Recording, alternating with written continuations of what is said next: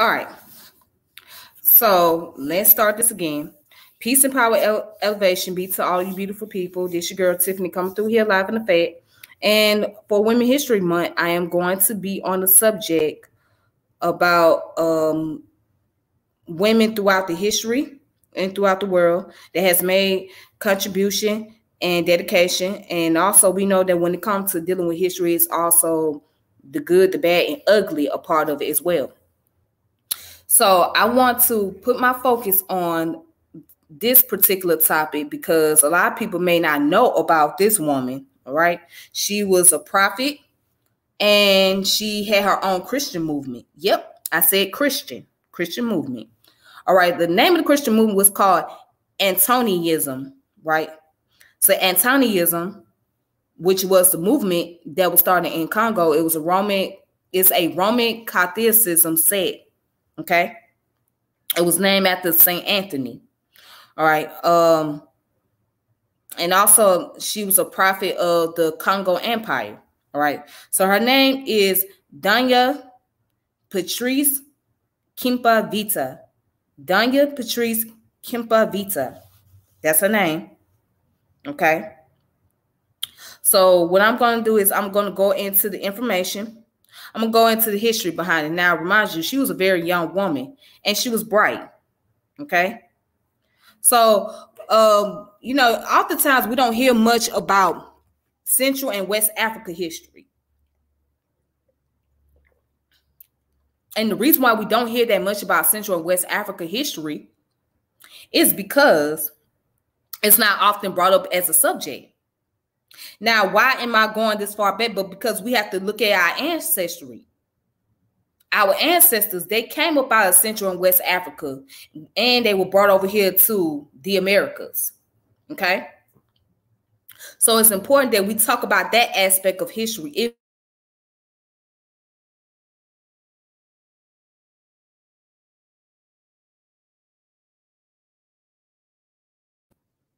it's a lot that we don't know and it's a lot of information that has to be covered regard to this. So i try to find as much as i possibly could. Um it's not really easy coming across sources like this. So i found as much as i could and what i'm going to do is i'm going to share some information with you guys and i'm going to do some book reviews uh, on the books that i found. So and then I'll make sure that I share with you guys on my YouTube because I can't share on my Facebook at the moment because I'm I'm suspended on my Facebook account and I'm having issue with my Instagram account. All right. So my Instagram been hacked for those of you that's been following me on Instagram. So I apologize if y'all got all kind of random messages and things like that. Okay. All right. So, anyways, let me go ahead and get started. And make sure you subscribe and share and like the channel and hit the notification bell okay, whenever I come on. And so that way you can be able to share with your friends or your family or your colleague or whoever, and y'all have a discussion about this subject or whatnot. So let's go ahead and get started, shall we? All righty.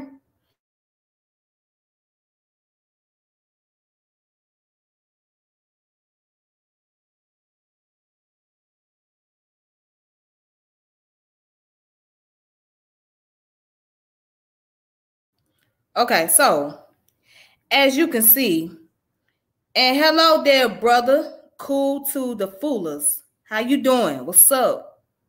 Thank you for coming through. Thank you.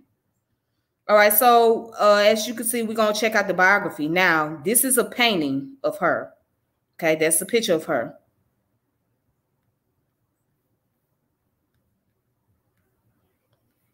Okay, and this is the statue of her right here. Okay, that's a statue of her. So Danya Patrice Kimpa Vita. Okay, she was known by several names, as you can see. She was a Congo Empire prophet and leader of her own Christian movement, Antonianism. This movement taught that Jesus and other early Christian figures were from the Congo Empire. All right, and we're gonna get into the Antonianism after a while. But let's continue. The name Danya indicates that she was born into a family of high Congolese nobility. She was later given the name Beatrice after the Catholic saint. Her teaching grew out of the tradition of the Roman Catholic Church in Congo. Yes, they did have a Roman Catholic Church in Congo. Now, remind you, this is around the 1600, 1684. Okay. So the transatlantic slave trade was taking place, but as far as um, but it was not as the number was not as high as it was when it got to the 1700s and 1800s. Okay. All right. So, so in other words, that was already Christian practice before Africans was brought over here to the Americas. Okay. So with basically she was already there was African people that was already practicing Christianity. Okay. So what I'm trying to get at is they went over here and all of a sudden they had practiced Christianity. They was uh, introduced to it. Now maybe some of them were, but the rest of them they already knew about it because of this movement. All right. So it says her teaching grew out of tradition of the Roman Catholic Church in Congo and caused her to upbraid the Catholic priests for not believing as she did. Danya Beatrice believed the teaching of St. Anthony and used this claim to attempt to restore the ideal of Congo as a unified Christian kingdom.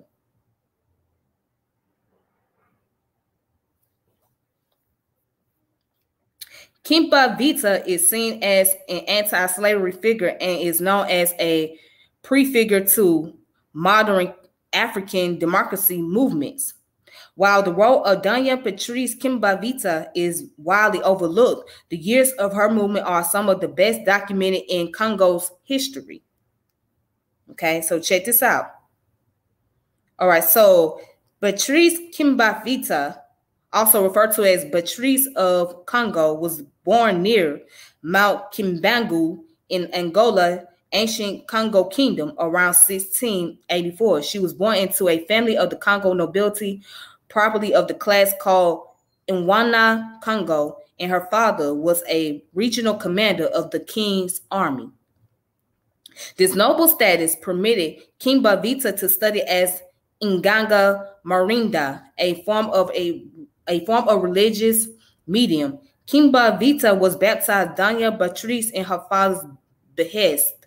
Following the Catholic beliefs of the kings, some modern scholars believe that she was connected to King Antonio I because of his King Congo name, Vita Inkenga. All right. Now it says, at the time of her birth, Congo was torn by civil war.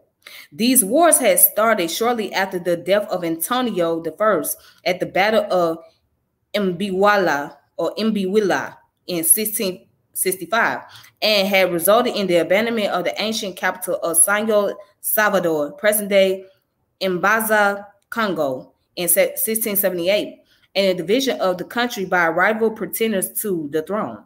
Okay. All right, so as you can see, that's another drawing, a picture. That's a beautiful drawing. So, according to her testimony, given at an inquest of her life, Kimba Vita had vision by God Congo and was considered to be a prophet prophecies to the Congolese, declaring that Jesus Yasha Yasia Ya Congo came from the Congo kingdom. She forbade her people to let the Portuguese in because they were going to enslave them. She kept proclaiming the message until the Portuguese Catholics burned her at the stake. And as she claimed, the Portuguese Catholic finally started killing, murdering, raping, and enslaving the Congolese, breaking up families, and sending them away to the Americas. Now, this is interesting, okay? She put up a fight. So she thought because she conversed into becoming a Catholic, right, and starting her Catholic movement, that it was going to make the uh, Congolese nation stronger. Okay, everybody was going to come together, and she was putting up a fight against the Portuguese people. She put up the fight against the Portuguese people. Now, people argue about Nzinga, whereas Nzinga, she she played the role because she was already kind of caught up in the mix. Okay, she was born into it, so she had to play the role and doing what she had to do in order to save the Angola Empire. But for um Patrice Kimba, she was putting up a fight. She said, she said to the people in the Congo, do not let the Portuguese come up in here because if they come up in here, they're gonna start enslaving us and they're gonna start sending our people away. And she put up a major fight for it. So, and seeing that she was doing that, the Congolese Catholics decided to burn her.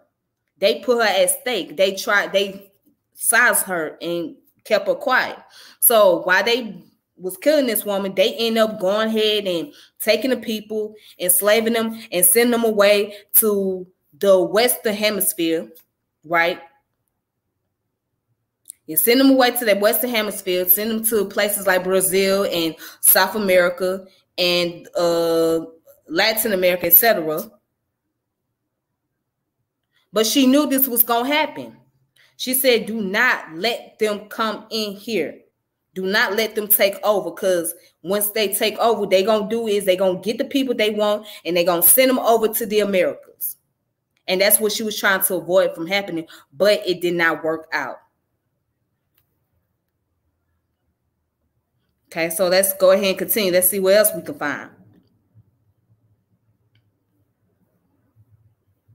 Okay, so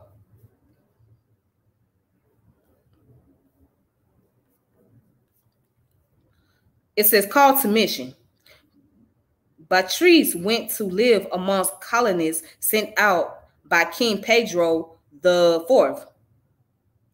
One of several rulers, I mean, one of several rival rulers of Congo to reoccupy the ancient and now abandoned capital of San Salvador. There was a great deal of religious fervor among the, these colonists who were tired of the endless civil wars in the country, and many had become followers of an old prophet, Apollonia Mafuta. During a supernatural illness in 1704, Kimba Vita claimed to have received vision of God while on the verge of death, wherein she was given divine commandment to preach to King Pedro the Fourth, and the spirit of Saint Anthony entered her body and revived her, resurrecting her as the reincarnation of Saint Anthony.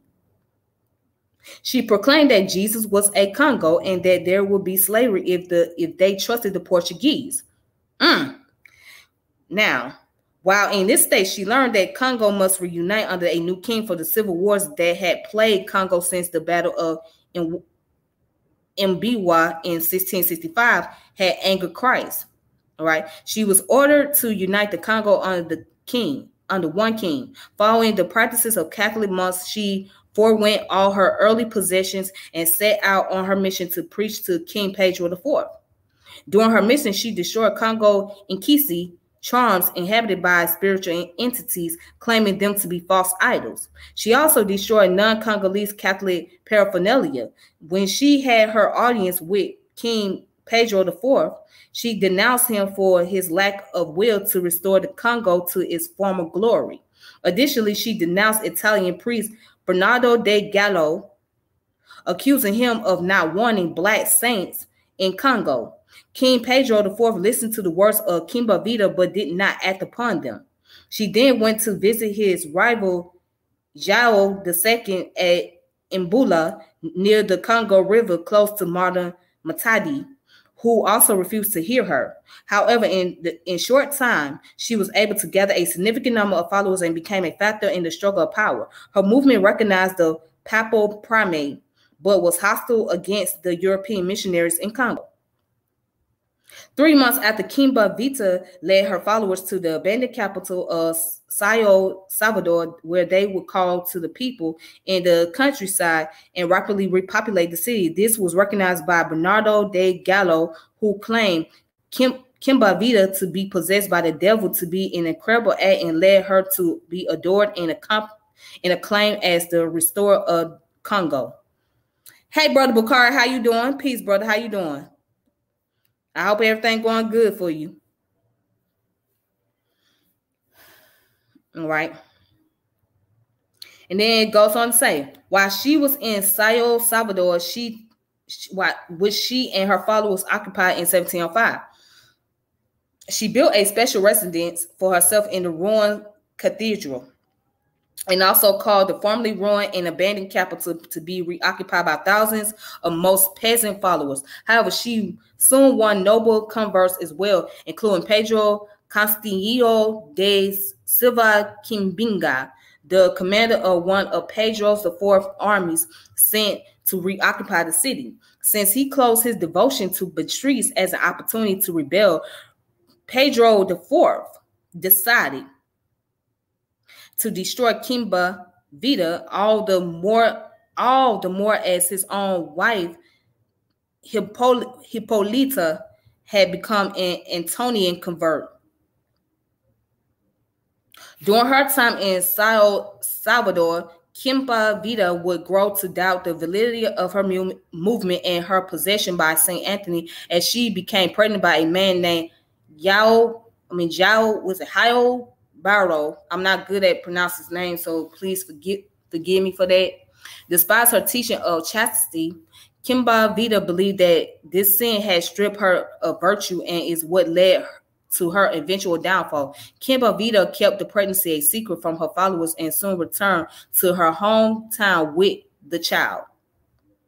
But Tree sent out missionaries of her movement to other provinces. They were not successful in the coastal province of Soyo, where the prince expelled them, but they were much more successful in descending south southern part of Sayo and Imbaba Lovata, which lay south of Soyo. There they won converse, especially among Parsian of the of the old queen Susiana de Nobrega. Manuel Macaza, one of these Parsians, also became an Antonian and moved to Sao Salvador. Right, so you see religious tenets. Okay, so right here, let's look underneath this picture. Virgin Mary and copper, uh, uh, excuse me, Virgin Mary and copper alloy produced within the Congo Kingdom during the 18th century, right? Okay, then it goes on to say much of her teaching is known from the Slave Antonia a prayer she adapted from the Catholic prayer, Salve Regina, Regina, Hail Holy Queen, into a anthem of the movement.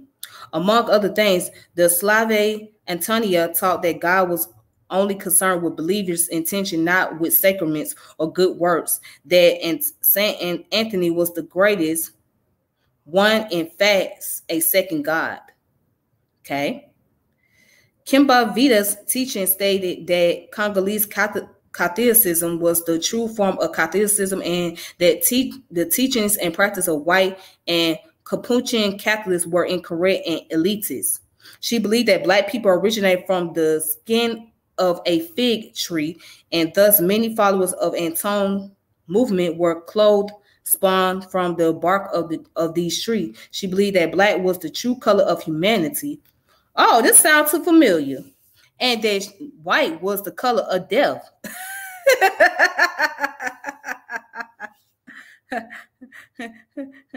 oh no, I, I, had to laugh at that when she said, wait a minute, that she believed that black was the true color of humanity.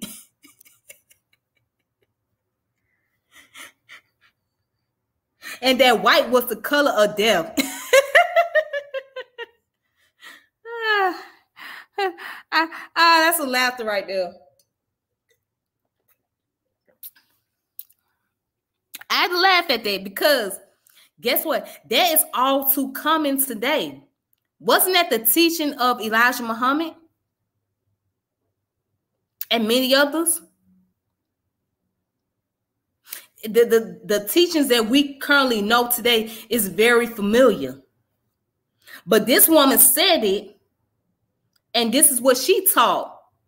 But she taught this in the Congo that the blacks, the what's the true color of the skin, what's the true color skin of humanity, right? Like black people were human humans were originally black folks. This is what she believed. And then white was the color of death. ah, but let me say this. I just must say that she was a savage, man. She was radical as fuck. So she was not one your average Christians. She wasn't an average Christian Congolese. She was a savage, man. She was a, a rebel. She was a rebel for real. She was a rebel. She was like what Henry McNeal Turner was when he said God was a black man. she said black she said the color of humanity was originally black and white is the color of death. She was a rebel. she she ain't trust them Portuguese. She said, uh-uh, we don't need to have these Portuguese around here because these motherfuckers cannot be trusted. They cannot be trusted, man.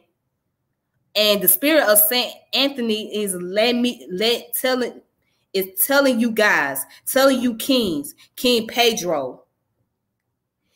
I'm letting you know that do not let these folks come up in here because if they come up in here, they're gonna do some sh- shady ass shit. That's basically what she was trying to get at to the king of Congo at that time period, but he wasn't trying to hear her because she was talking that Christian Babel stuff to him, and he's like, well, "Okay, this woman is delusional. She lose her mind. She here talking that old Christian Babel shit. I ain't trying to hear all that."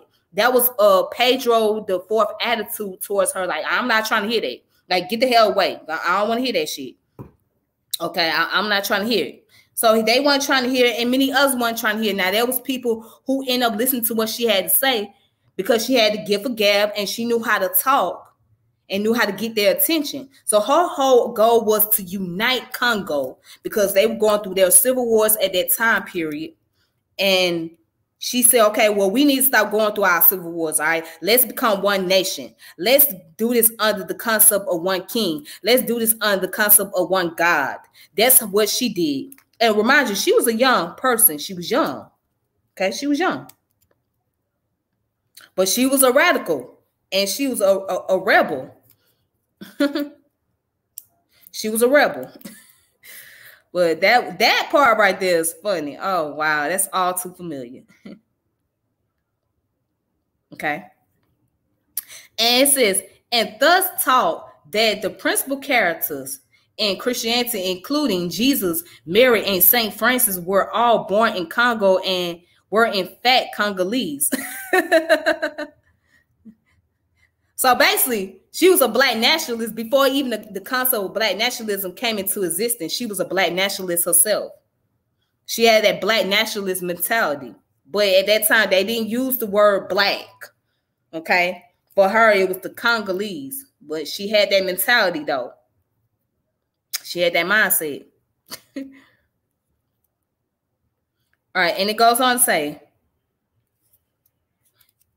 many of these beliefs were greatly in, influential in raising the hope and morale of the Congolese people during a time of civil war and the transatlantic slave trade, times when both national identity and the perceived human worth of the Congolese people were called into question.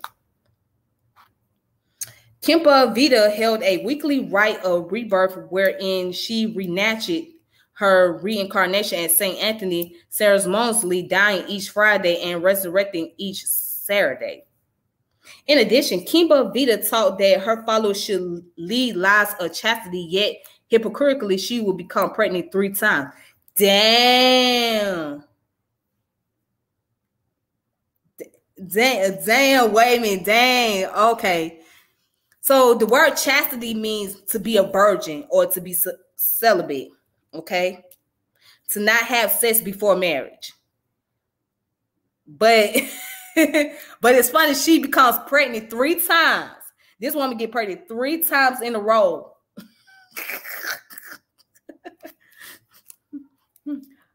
okay, and then watch this. Two of these pregnancies she successfully aborted through the use of local medicine. Okay, she su- she successfully aborted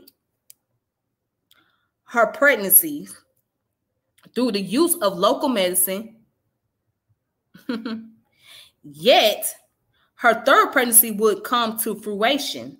This pregnancy was hidden from her followers, and the child was never discovered by the Antoine movement. Mm. Mm-mm-mm. Wow. But let's go deeper. Execution and its aftermath. Kimba Vita was captured near her hometown by Kinlaza envoys who had heard the crying of Kimba Vita's child. These envoys brought Kimba Vita and Jao Barrow before Pedro IV, where she was to be tried for hearsay. Her, her here Kimba Vita repented for her sins and asked that she be baptized. The Catholic Church denied her baptism, yet permitted her to be absolved through means of a holy confession. Kimba Vita was burnt at the temporary capital of Invululu as a heretic. In 1706, by force loyal to Pedro IV, she was tried under Congo law as a witch and a heretic with the consent and counsel of the Capuchin Friars, Bernardo de was it Bernardo da Galao and Lorenzo da Lucia. Kimba Vita's son, whom she wished to name Antonio, was spared by Lorenzo de Lucia. Lorenzo denied her request name, instead naming the child Geronimo, was it Geronimo, Geronimo, Geronimo. Custody of Geronimo was given to the church officials. Okay, so all right, so she was um actually crucified pretty much because of the fact that she had sexual relationship outside of marriage. So by her being a Christian woman and being a leader of the Antonian movement, it made her look bad. So uh her and the guy that she was sexually involved with, they both was punished. So she received the capital punish, which was which was death. Basically, it was death. And the son that she had, which was which she was gonna name Antonio, but she named him Geronimo, right? He was named Geronimo. He was given into the custody of the church officials. Okay, so the Catholic Church at that time, they look at if a woman, if you having sex outside of marriage, especially if you're a woman, that was immorality. It was immoral and it was disgusting, and you was looked down upon. You were looked down upon, and you was not respected because you did not follow the holy commandment, right? You did not uh protect your virginity. Your virginity is something looked at as being sacred. So if you just going out here and giving away to somebody, and again, she got pregnant three times.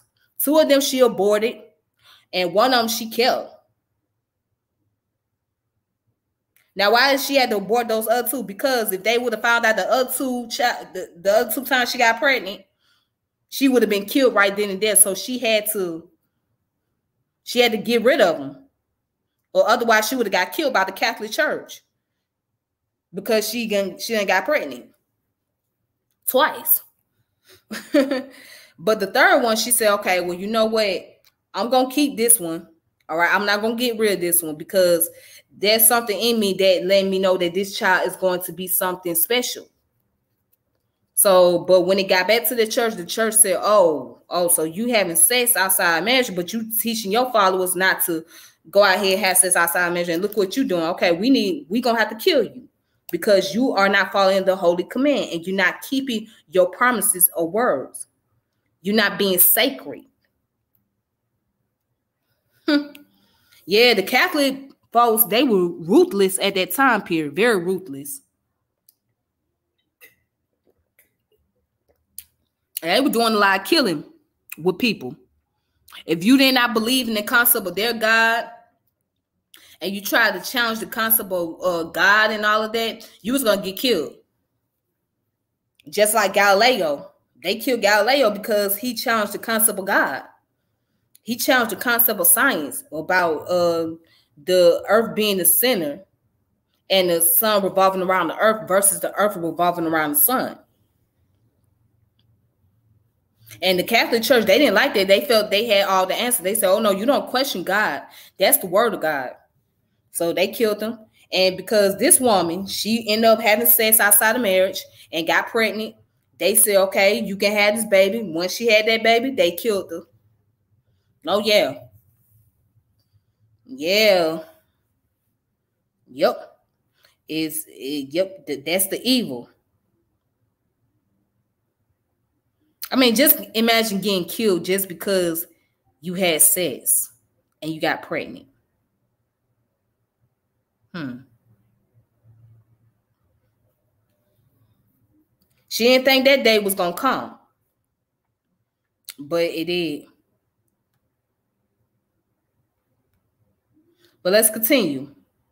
It said the Antonian prophetic movement outlasted her death. Her followers continued to believe that she was still alive, and it was only when Pedro the Fourth, I mean the fourth forces took San, San, San Salvador in 1709 that the political force of her movement was broken, and most of her former noble adherents re, renounced their beliefs and rejoined the Catholic Church. Some hint of the strength of her teaching may be glimpsed by the fact that 18th century Congo religious art often showed Jesus as an African, and that Saint Anthony, known as Tony Malalu, was very prominent. More recently, some see present day Kimbagu, Kimbaguzianism and was it Kimbaguziism, Maswani, Maswaniism, and to, and Tokizi, Tokizime as its successor.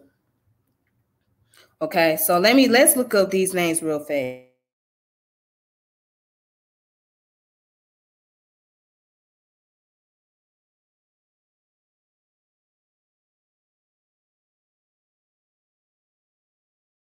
Oh.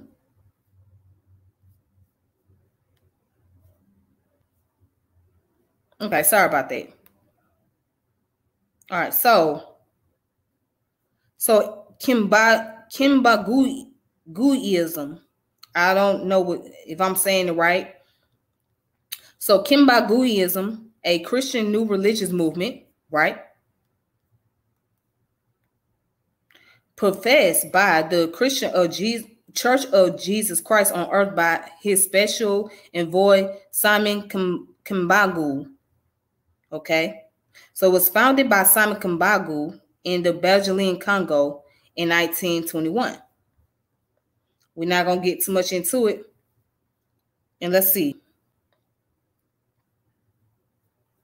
And Matswaniism is a political association that was founded in French Congo by Andre Matswa in, in the 1920s, involved into a religious political movement after the death of Matswa in 1942. Okay. So her religion, and Antoniism, led to those movements. Okay. So those movements came out of the school of Antoniism, the ones I just mentioned. Tradition circulating in Mbanza, Congo, right?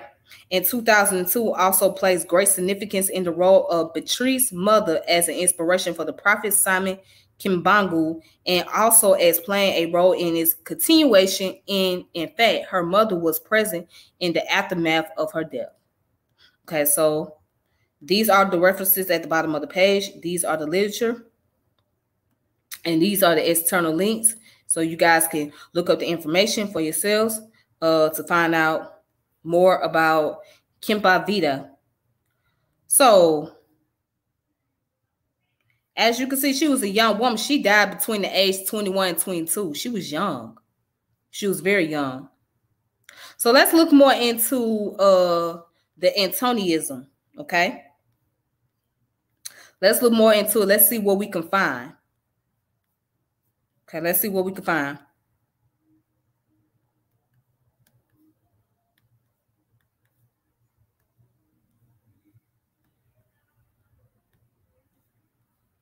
All right, Antoniism, as you can see.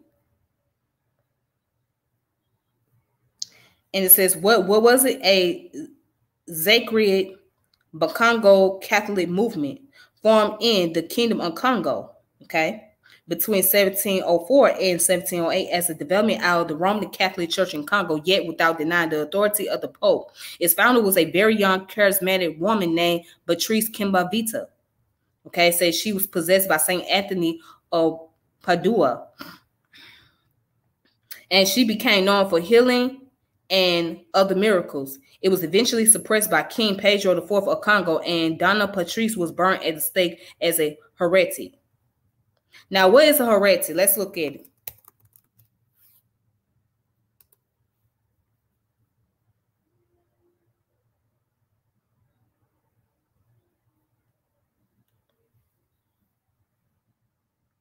All right, so let's look at what is a heretic.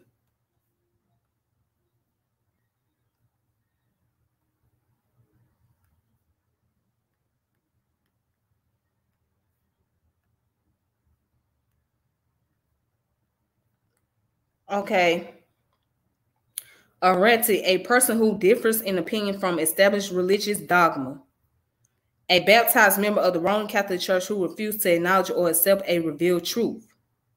One who differs in opinion from an accepted belief or doctrine. So basically, what they were saying that she was a nonconformist. She was a nonconformist. Because by her starting her own movement, and then because the way she preached, it was different from how the Roman Catholic preached. She pre- preached that the Congo people, that humanity was originally black and that the white skin was deaf. Right?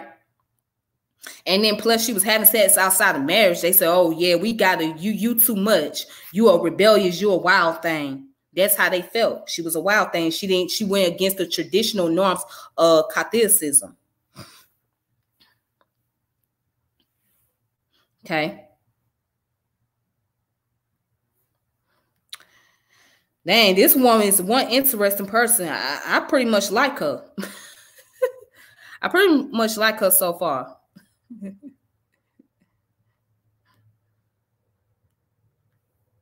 All right. All right, so let's kind of skip down this a little bit. Okay. So it says the king, the kingdom of Congo was the largest and most powerful kingdom in Central Africa, but its influence was waning. During the 17th century, Portugal became the dominant military and economic force in the region. The Portuguese had begun converting people of the Congo to Catholicism as early as the 15th century. The nobility of the Congo and the commoners both pra- practiced Catholicism, right? So Roman Catholicism has had been introduced to sub sub-Saharan Africa in the 15th century and had attracted a wide following in Congo. Beatrice claimed Anthony had told her through a vision to create a new Congolese Catholicism, and she incorporated various native practices and tradition into her movement.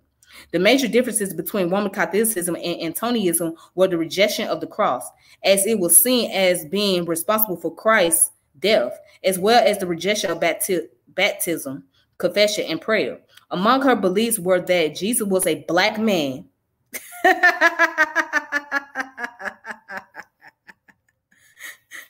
That was how I belief that Jesus was a black man. I mean, it's funny because she was rebellious. She was not going for the tradition. She was unorthodox. She was unorthodox. She was not going for it. So she created her own principle. And I gotta give it to her. You know what I'm saying? She she did that. You know what I'm saying? She did her thing. She created it. She was like, nah, bump all that. You you white folks can have that shit over there. That was her answer. Like them white folks, them, which basically with the Portuguese, they can have that shit over there. We we we gonna create our own shit. Like we don't want your shit. We don't want your version of Christianity. We're gonna create our own version of Christianity. but check this out. Among her beliefs were that Jesus was a black man and that the Congo was the real home of Christianity. She also held that heaven was for Africans.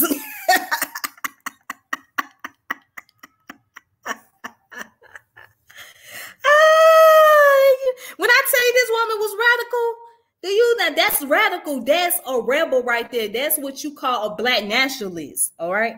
before black nationalism even came into existence. she said heavens was for Africans. That's how she felt. She said, It ain't for these motherfuckers over here because we know they the enemies, man. We, we don't want them motherfuckers over here. You know what I'm saying? We don't even need to let them in our kingdom, man. They they trying to take over. We the one that heaven is for us. And Jesus was a black man, not that motherfucker. and this is long before Elijah Muhammad, Henry McNeal Turner, Noble Drew Ali, uh, what's his name? Uh, George McGuire. This is long before all these different religious religious teachers, uh, Father Divine, um, Clarence 13 S allowed. This is before they even came along and taught what they taught, right? This became this way before these different movements came about. When she created Antonianism, that was her thought. Jesus was a black man. He from the Congo. The Congo is the home of Christianity. And that heaven was for the Africans. And that white skin was death. Damn. Wow, amazing.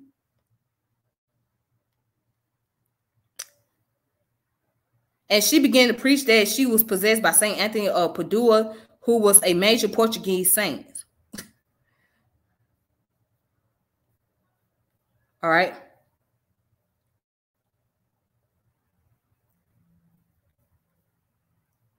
So it says she was trained as Inganga Marinda, an individual who consult the supernatural world to solve problems within the community, and acted as a medium, speaking the pronouncements of Saint Anthony. The teachings were a mixture of Congo religious rituals and nativism and Catholicism. All right. According to this vision, Jesus was born in Mbanza, Congo, and baptized not at Nazareth, but at in the northern province of Nsundi while Mary's mother was a slave of the Congo nobleman in Zimba Pangi. Donna Patrice also disclosed new versions of the Ave Maria and Salve Regina that were more relevant to the Congolese mode of thoughts. All right. And so she prophesied a new golden age to her followers, one that would follow the end of European presence in the Congo. European would be found around the Congo capital city of Mbanza, Congo, by her followers, and trees would turn to silver and gold. Dona Beatriz acknowledged papal authority, yet her cult was hostile to European missionaries.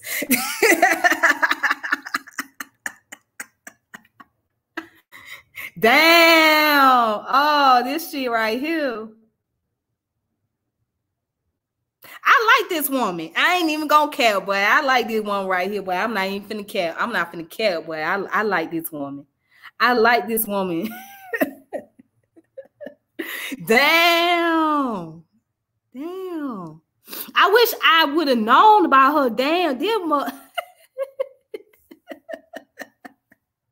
But she was more radical than the damn king himself. But she should have been the leader. if you ask me, in my opinion, she should have been the leader.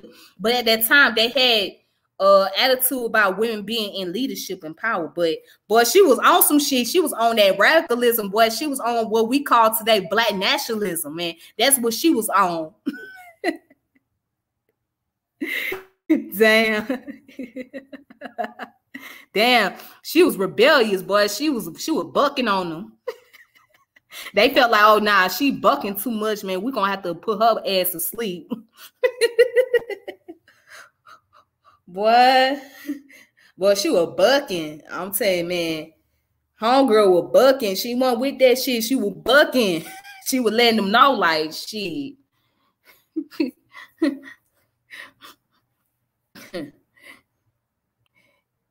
Anyway, it says teaching that they were corrupt and unsympathetic to the spiritual needs of the Congolese Catholic. Well, you know what? She she had a point. She felt that they were on they were corrupted and unsympathetic to the spiritual needs of the Congolese people. Boy, she was bucking. She was bucking for real.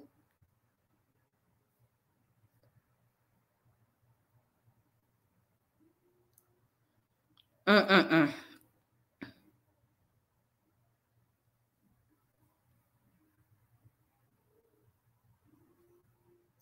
And then it goes on to say Dona Beatriz's political influence was a threat to Pedro IV. Okay, so let's go back. The Antonians, led by Dona Beatriz, occupied territory in Banza, Congo. It served as a base for Antonian missionaries who were sent by Dona Beatriz to convert followers to her movement and to urge rulers of the divided Congo territories to unite under the one king. Her aim was to end the civil wars that had plagued the kingdom since the arrival of the Portuguese. Dona Beatriz's political influence was a threat to Pedro IV and the Portuguese administration that supported him. In 1706, Pedro IV had Dona Beatriz arrested and burned at the stake for heresy under the urging of Portuguese Capuchin monks. The movement of Antonians did not immediately die when she did, and in 1708, 20,000 Antonians marched on King Pedro IV, who eventually defeated them and restored his kingdom. Although the movement had a short life under the leadership of Dona Beatriz, artifacts have survived, including St. Antonio figurines made of ivory, brass, and wood, affixed to crosses used as the staff finials of fanels and worn as pendants. These images called Toni Malau or Ant- Anthony of Good Fortune in Congo serve to guard their barriers against illness and other mis- misfortunes. All right. So she what? Woo. All right, that's a lot of good information right there. That that one right there was on some radical shit. Man. Man, she was on some radical shit. All right. All right, but let's see. Let's make sure that we got information that backs up the sources, okay? That she uh that was put on his. So I got some information um from a website called cdamm.org, which stands for Critical Dictionary of Apocalyptic and Millenary Movement. All right. Yeah, she does seem interested. That lady, boy. but she had that radical mindset, boy. Listen, boy, she was also she was also radical shit. She was like, man, get these motherfucking Portuguese out of here, man. We were doing all right until these motherfuckers came up in here and got down doing what they did. And now there's civil war. We need to get back to who the fuck we was. We were doing just fine. Like she was bucking. She was bucking. Pedro's like, chill, like chill, go somewhere and sit down, man. You doing too much. Chill out, chill out with all that radical Christian shit you talking. She was like, nah, man, we gotta do something about these motherfuckers, man. We need to get back to being under being one kingdom, being under one leadership. And remind she's a young girl. Now she young. Shada was young, bucking like that. boy, she boy, she had a following too. What? That's salute salute, salute, salute, salute. no, I mean salute for real though. Like if Shada can do that, what? ah, uh, boy, she was bucking. She was on that shit. She was bucking. She was about that shit, boy. She want she wasn't finna play no games with them. Like, hey, she was she kept bucking, boy. She kept bucking for real. All right. So this article again is critical dictionary of apocalyptic and millenary movements. All right. Kimba Vita, Arthur Alaline Makoko Gambat. All right. So it was published on January 20, uh, January 31st of 2021. So that ain't been long ago. It's just recently. All right. Check this out.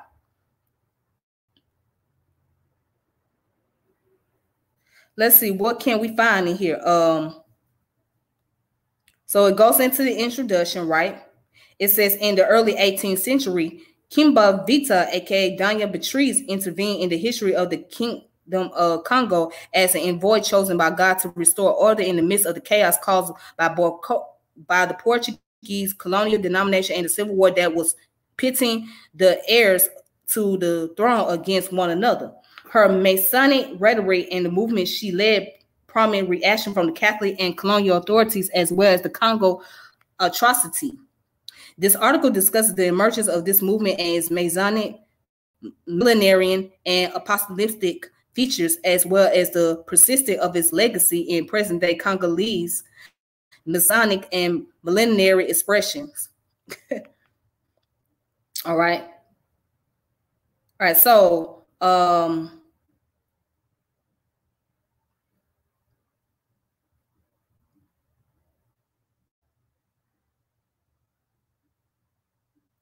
Okay, so here we go. It says Kimba Vita cannot study aside from the Congo Kingdom of Congo, where she was born, raised, and executed.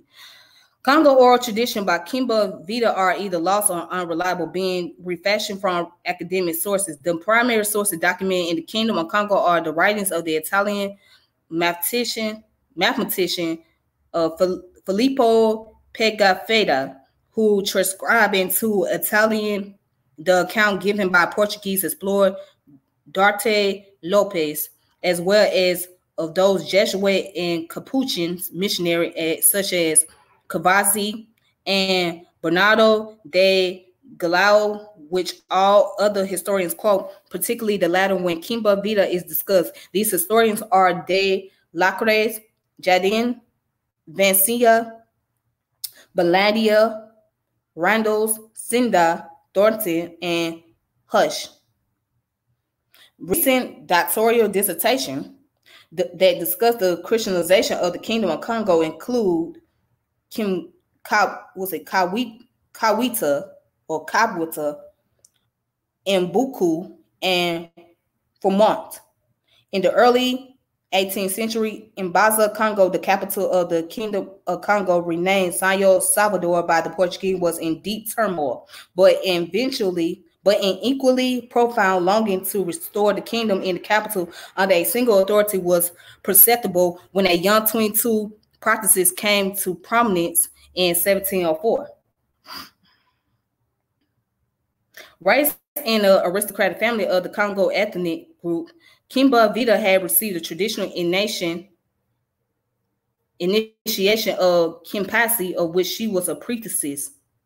She had also received an in-depth Catholic education informed by devotion of the Virgin Mary, the saint, the sacraments, and the use of rosary and crucifixes. It is documented that she knew the Lord's Prayer, the Hail Mary, and the Salve Regina. All right.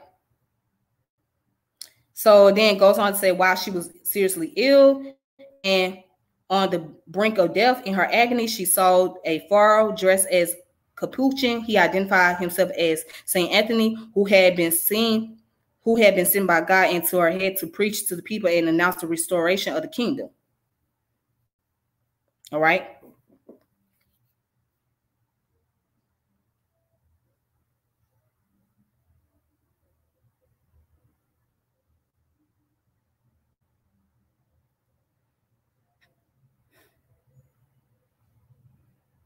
Okay, so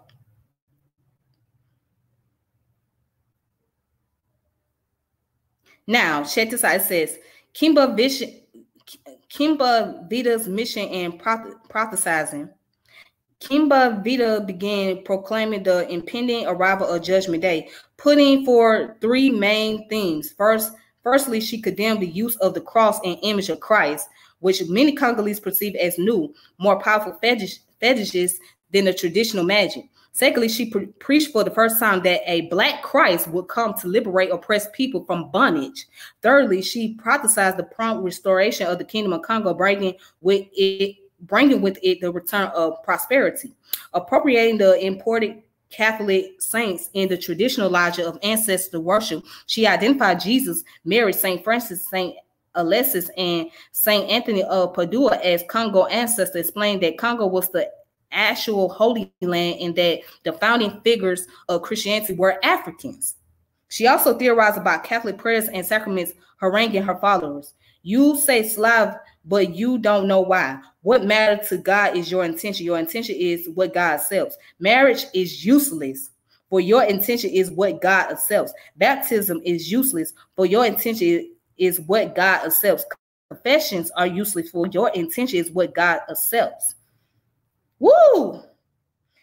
Once again, that woman ain't your average Christian. She was not your average Christian.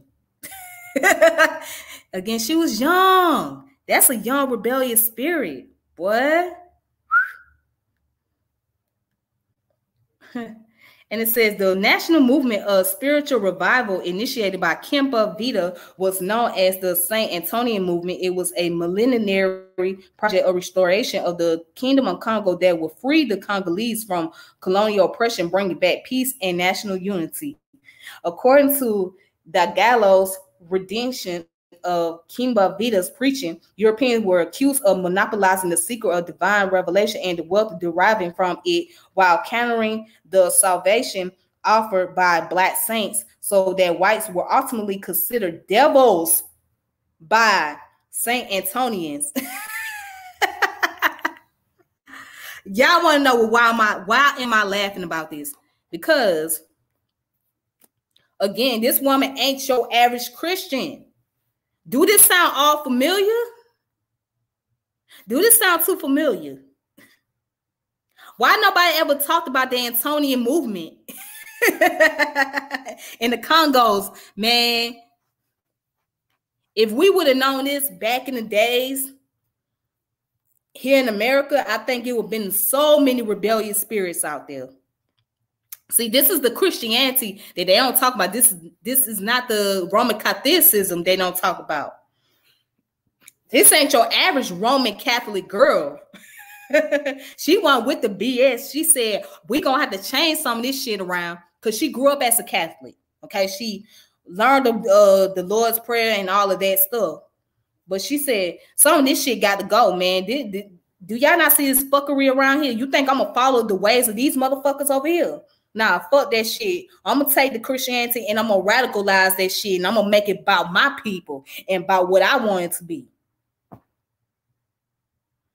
Oh yeah. Oh yeah, yeah, yeah, yeah. You welcome. You welcome. This is my first time hearing about her too, but I'm loving her. I'm loving her mindset. I'm loving her Elijah because she wasn't with the bullshit. she wasn't with that fuckery. She was trying to unite her people. She wanted them Portuguese to get the fuck up out of Africa. That's what she wanted. She wanted them to get the fuck up out of the Congos, man. And she was doing whatever she can. She thought she can use religion as a way to bring about political statement against the foreign people. boy, boy, they woo, boy.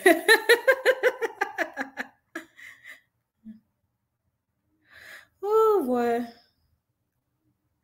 Wait a minute, check this out. It says, according to De Gallo's redemption of Kimba Vita's preaching, Europeans were accused of monopolizing the secret of divine revelation and the wealth deriving why why it yeah, from from it while countering the salvation offers by black saints, so that whites were ultimately considered devils by the Saint Antonians.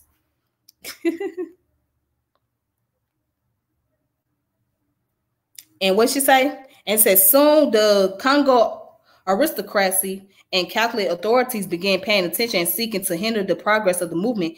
Kimba Vita was perceived as a menace for she worked miracles, spoke against Catholic sacraments, and burned fetishes, but also crosses.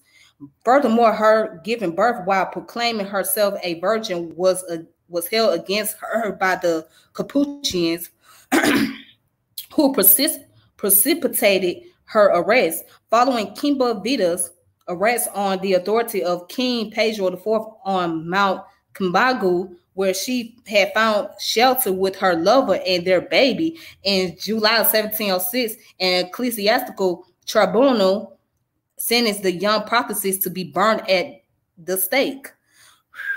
Damn. Boy. Kimba Vita's legacy. Not all historians agree about Kimba Vita's legacy. For some, the St. Antonian movement died out for in the wake of her execution. Many of her followers, including the man she had designed as the legitimate king, died in farcical conflicts. For others, Kimba Vita's martyrdom foster a long-lasting sense of belonging among the Congo people. For her messianic preaching deeply shaped Congolese history and collectively identity. Indeed, without having wielded any official power, Kim, Kimba Vito is considered as a, a historic forerunner of African messianism and millenarianism. Today, she is reverent as having planted the seeds of nationhood in Angola, Congo, Brazzaville, and the De- Democratic Republic of Congo. At a time when the Portuguese meant to stay indefinitely in the Kingdom of Congo, Kimba Vita harnessed the creative powers of messianism to inscribe the colonial order in a temporal arc tending towards liberation. She has told the history of the king, Kingdom of Congo as a glorious past that white settlers had falsified, demanding reparation and denouncing the subjugation of Africans under the colonial yoke. And it goes on to say, today Kimba Vita is celebrated by many as a Congolese Joan of Arc, whose messianism fostered a national consensus in Central Africa long before nation states were born there, bequeathing a legacy of millenarism among the Congo people. Although the Saint Antonians no longer exist, Kimba Vita's memory, which remains inseparable from mysticism, is very is still very much alive in two Congos and Angola and even beyond Central Africa.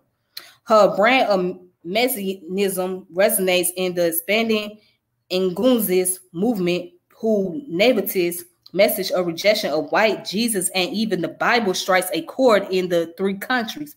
The restoration of the Co- Kingdom of Congo remains central to the beliefs of the Kimbanguist Church and many other neo-prophet, excuse me, neo-prophetic movements in Central Africa.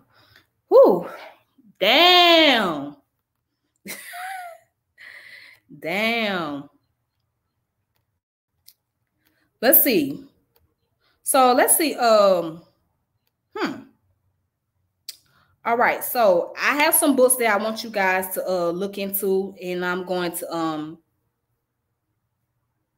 I'm going to share it on my uh YouTube community page so you guys can look it up for yourself if you want to learn more about this powerful, magnificent woman. And I'm gonna tell you why I say she magnificent. That woman was bucking. When I say she bucking, she was bucking.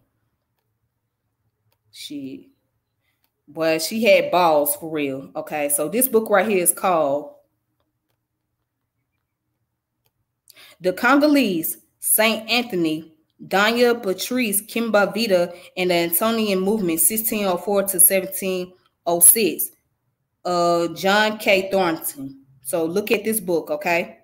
If you want to learn more. John K. Thorne.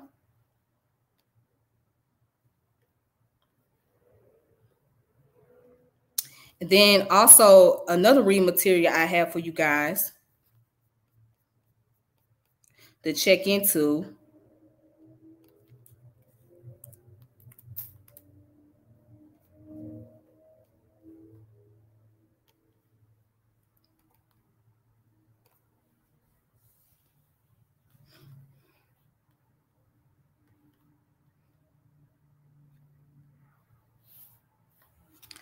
uh, Central Africans and cultural transformation in the American diaspora. All right. So it kind of goes into how the Roman Catholic practice, right, in the Congo area and Angola area brought about influences to the people in Brazil and Haiti and places like that. So that's what it really goes into. So it's relatable to this subject. All right. Okay, so that's all I have. And I want to go ahead and share my thoughts. I want to say this, man. What woman in history was bucking? like, what woman do you know that can buck like that? That can go at the oppressors and the colonists, right? And tell them by taking their religion, right? She took the Roman Catholic religion and she created her own movement behind that shit. Now she was a young girl and she had this radical mindset. And she was the way she was teaching, I was like, I ain't even gonna lie, I was amazed. Boy, I wish I would have known about it at that time period. So, as a matter of fact, let's look up what the Nguzi is, um, or are. The Hold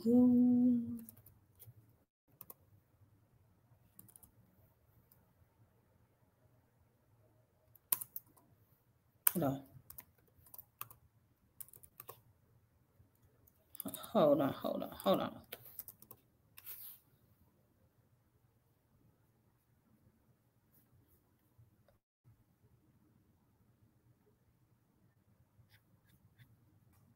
Let me go back to the source. Give me a second.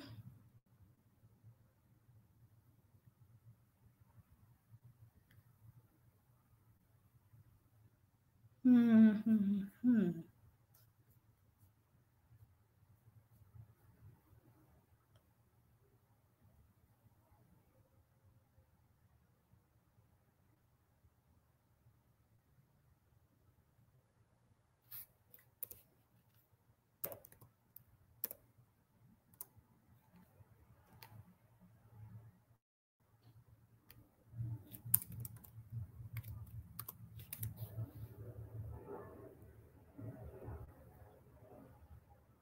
That's right. That's right. It's not religion that's holding her back. You're right. It was used as a tool for liberation, and she knew how to use it. See, at the end of the day, what people, this is what people gotta understand. Then this is what folks who are atheists and all that they say that oh, religion messed people up. This, day, other. Excuse me. Religion messed people up. This thing. Other which is partly true. Yes religion does does some type of damage okay? But at the end of the day religion is just a blueprint. It's the teachings that will bring about corruption. It's the people. It depends on who the leader is and who's teaching those doctrines. So religion itself is just a blueprint but it's all about the psychology of the individual that's what it's all about. It's the psychology. Even if you take away religion, right? You still have corrupted minds. You still have people who will bring about chaos. You still have uh people who are menaces to society. You're gonna have all these different things. So take away religion. That's not gonna stop from stop the corruption of humanity. That's not gonna stop people from doing anything, even with these political movements. You have corruption in those political movements, social movements. You have uh corruption, economic movements. You got corruption. Humans are going to operate from the human nature. All right. If you understand human nature and you understand human behavior and you understand and you understand cognitive psychology, cognitive science, once you understand that, it will make sense because all it is is just a blueprint. So whether your religion be Islam, Christianity, Judaism, uh, uh, Buddhism, Jainism, Confucianism, Taoism, whatever, Hinduism, those are just blueprints. At the end of the day, it's about the psychology of individuals. That's what it's all about the psychology. And the main purpose, their intention. That's what you got focused on. So people get caught up on the blueprint, but now look at the psychology. Look, not looking at the mind of individuals. So you're right, brother Ron. You are correct. Yes, she used it as tool for liberation. Absolutely. She was a young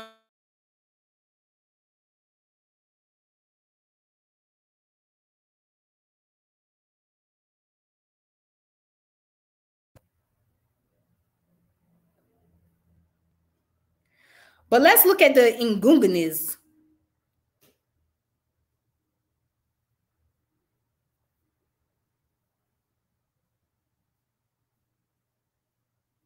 I just want to look at the Ngungunis real fast because these people here, or maybe I'll do a subject on them one day.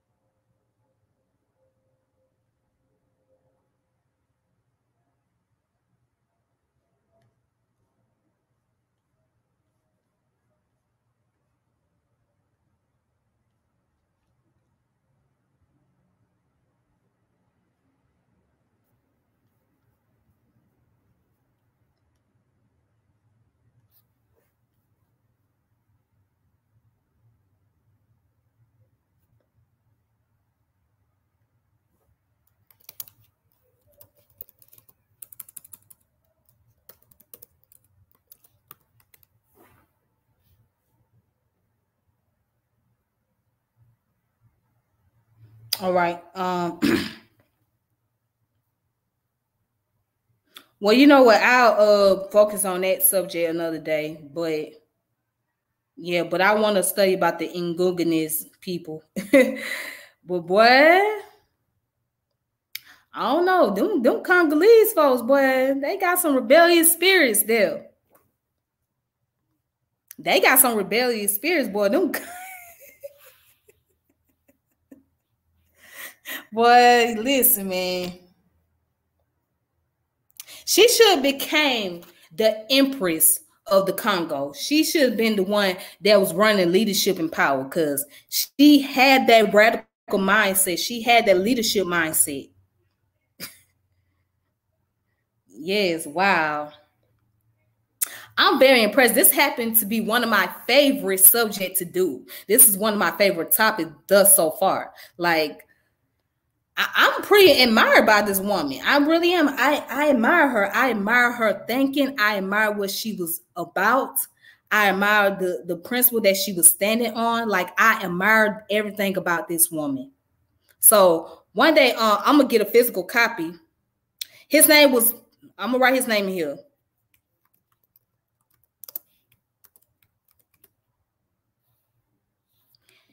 That was his name. His name was Pedro the Fourth. He was the one that destroyed the system. Mm-hmm. Pedro the Fourth. Because he felt like she was gonna ruin it for him.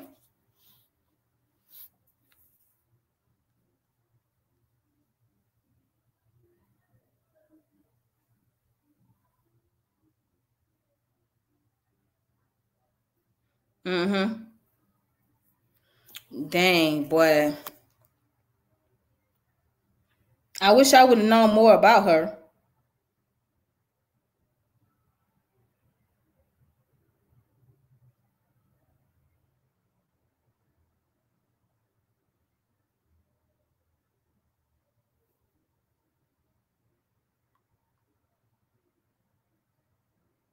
Yes, he was the leader at that time. Yes, Pedro the Fourth was the leader at that time period. Yes, while she was uh starting that movement, he was.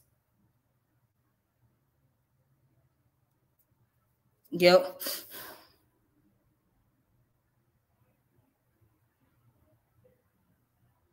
But all right, you guys, you guys, I gotta get off of here. I gotta get off of here because I gotta uh chill out. You know what I'm saying? I got a long night ahead of me, so but it was good talking to y'all. And make sure you guys.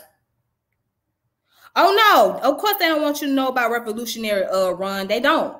They don't want you to know about that. They not see, it's a lot of things they're not going to tell you. Okay. A lot of stuff they not going to teach into the school system. All right. Or teach and not and even some colleges and university, they're not going to talk about it because they know that it's going to bring about radicalism. So when you have somebody like her who was a revolutionary, who was a radicalist, they try to keep that as a secret. But it's a good thing. Thank goodness for academia.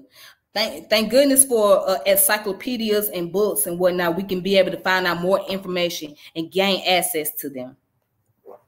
All right. But anyways, um, you guys have a good evening. I have a long day ahead of me. I want to thank you guys for coming in, watching. Make sure you subscribe and hit the notification bell and share the channel, like the channel, and check out all the videos that I've done on here about other uh individuals um in history and whatnot and other subject matters. Okay, so oh no, they don't. You're right about that. They don't.